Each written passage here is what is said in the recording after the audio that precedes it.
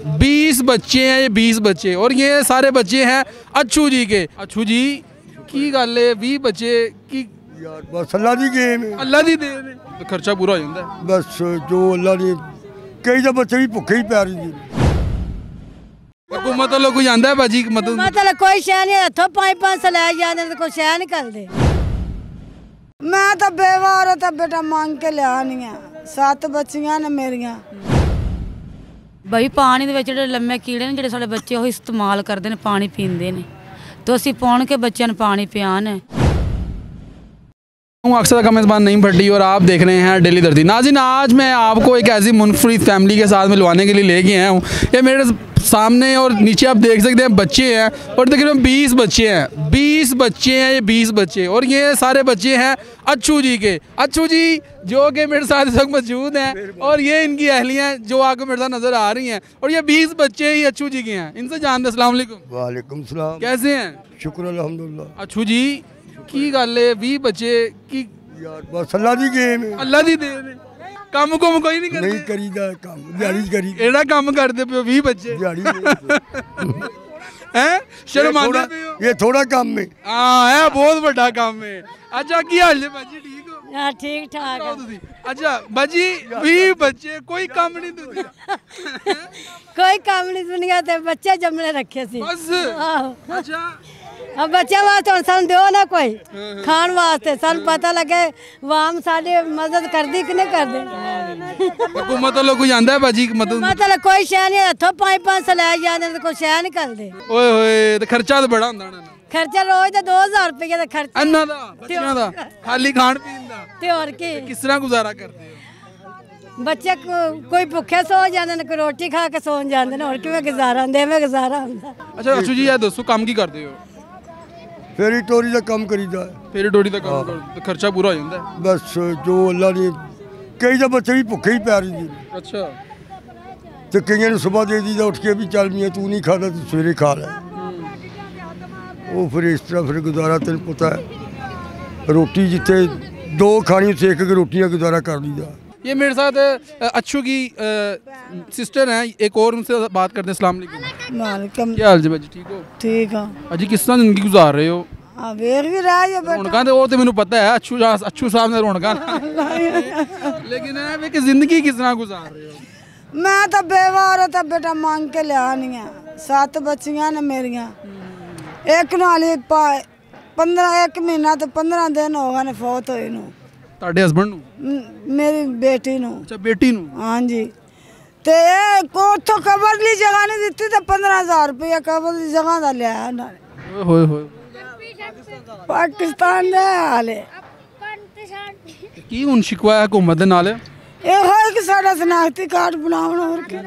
Vote ਜਦੋਂ ਲੈਣੇ ਹੁੰਦੇ ਨੇ ਉਦੋਂ ਤੇ ਆ ਜਾਂਦੇ ਨੇ ਐਮਪੀ ਐਮਐਨਏ ਪਤਾ ਨਹੀਂ ਸਾਨੂੰ ਤਾਂ ਇੰਨਾ ਵੀ ਨਹੀਂ ਪਤਾ ਹੈਗਾ ਕਿਹੜਾ ਕਿਹੜਾ ਕੋ। ਓਏ ਹੋਏ। नाजिन ये देखें, ये मेरी बहन रो रही है, आप दीदा होगी है।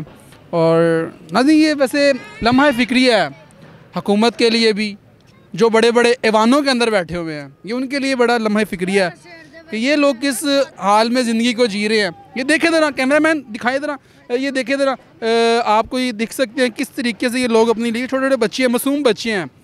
ऐसे ही बच्चे आपके भी हैं, ऐसे बच्चे ही हैं आपके।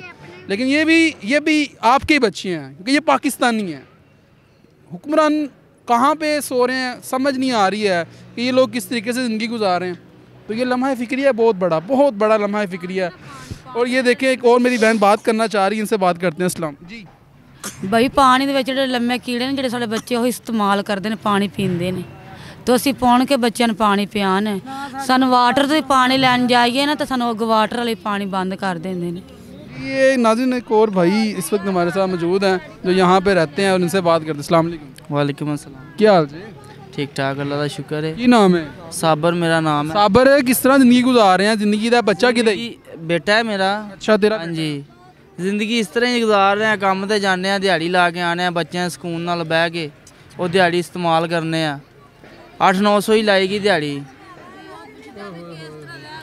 ਸ- ਯਾਰ ਇੱਥੇ ਲਾਈਟ ਸ਼ਾਈਟ ਦਾ ਕੋਈ ਇੰਤਜ਼ਾਮ ਕੋਈ ਨਹੀਂ ਪਾਣੀ ਚੀਜ਼ ਕੋਈ ਚੱਕਰ ਨਹੀਂ ਨਾ ਵਾਸ਼ਰੂਮ ਨਾ ਕੋਈ ਸਪੋਰਟ ਹੈਗੀ ਇੱਥੇ ਐਵੇਂ ਪੁਲਿਸ ਆਂਦੀ ਹੈ ਤੰਗ ਕਰਦੀ ਹੈ ਝੁੱਗੀਆਂ ਤੋੜ ਭੰਨ ਜਾਂਦੇ ਨੇ ਗਾਲਾਂ ਕੱਢਦੇ ਨੇ ਕੋਈ ਇੱਥੇ ਪੁਲਿਸ दारू ਪੀ ਕੇ ਵੀ ਕਿਸੇ ਕਿਸ ਟਾਈਮ ਆ ਜਾਂਦੇ ਨੇ ਐਵੇਂ ਬੇਨਜਾਇਜ਼ ਹੀ ਫਿਰ ਉਹਨਾਂ ਨਾਲ ਵੀ ਬੜਾ ਤਰਲ ਮਿੰਤਾ ਕਰੀਗਾ ਇੱਥੇ ਤਾਂ ਕੋਈ ਸਪੋਰਟ ਹੀ ਨਹੀਂ ਹੈ ਇਸ ਪਾਕਿਸਤਾਨ ਦੇ ਵਿੱਚ ਜੀਣਾ ਹੀ ਬੇਕਾਰ ਹੈਗਾ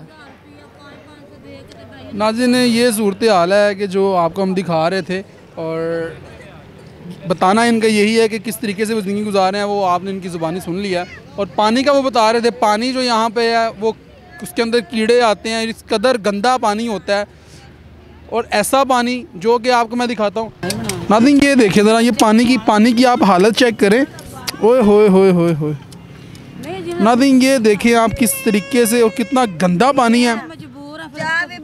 ਵੀ ਬਣਾਣਾ ਚੌਲ ਵੀ ਪਕਾਣੇ ਆਟਾ ਵੀ ਗੁੰਨਣੇ ਇਹਦੇ ਨਾਲ ਇਹਦੇ ਨਾਲ ਹੀ ਆ ਸਾਰਾ ਪੀਣਾ ਵੀ ਹੈ ਇਹੋ ਹੀ ਪੀਣੇ ਹੁਣ ਬੱਚਿਆਂ ਨੂੰ ਚੌਲ ਪਕਾ ਕੇ ਦਿੱਤੇ ਨੇ ਇਸ ਪਾਣੀ ਨਾਲ ਦਿੱਤੇ ਨੇ ਇਹੋ ਪਾਣੀ ਬੱਚਿਆਂ ਨੂੰ ਇਸਤੇਮਾਲ ਕਰਨਾ ਹੈਗਾ नाजिन ये सूरत हाल है जनाब कि आप पानी देखें किस कदर गंदा पानी है और जो बड़े बड़े M P M N A जो मिनिस्टर्स हैं आप तो इस पानी से आप ये ये ऐसा पानी तो आपके वाशरूम में नहीं होगा जो ये लोग इस्तेमाल कर रहे हैं पीने के लिए खाना बनाने के लिए।